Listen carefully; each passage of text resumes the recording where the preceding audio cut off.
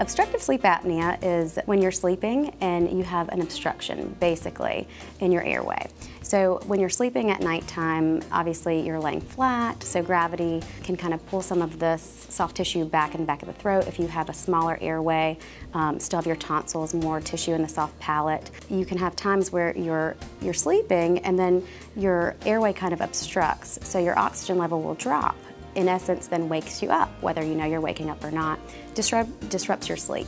So anything over five times an hour where that's happening at nighttime is consistent with a diagnosis of sleep apnea. So we would gauge the severity of that, we'd gauge the severity of your desaturations, and then treat based on the severity and what's going on based on the sleep study and the patient's symptoms of fatigue.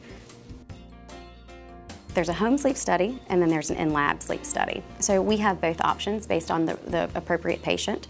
Um, so home sleep study can be done in the patient's home. It encompasses uh, a device that's worn on the forehead, kind of like a head lamp if you're going camping is what I tell my patients. It's, it's pretty small, but I mean, obviously you have something on your head that you're wearing. It's got a little nasal cannula and a belt.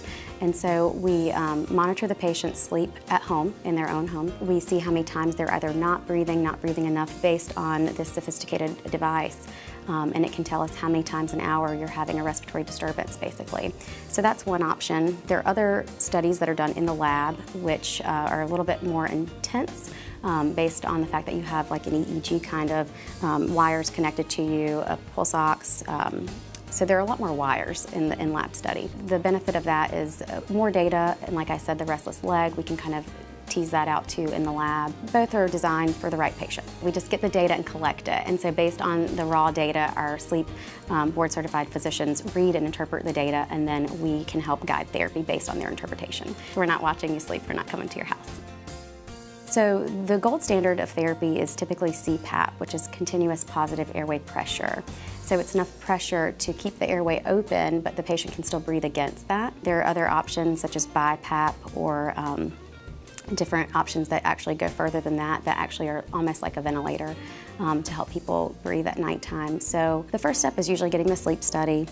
And then if they need a CPAP titration study, the patient would go back to the sleep lab, make sure the CPAP pressure is correct, to keep that airway open and the patient comfortable.